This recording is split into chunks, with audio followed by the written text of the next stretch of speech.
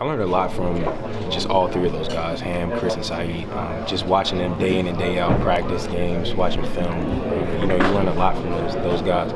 Uh, and with competitive catches, Chris, like I had trouble with it at first. Um, you know, it was a big deal coming in, but uh, you know, Chris got me to the side one practice. I remember he said, "It's not hard. You just got to focus. Like don't." Don't freak out when the ball's in the air. Don't don't get nervous. Just focus and know that no matter what you do, he still has to stop you from catching the ball.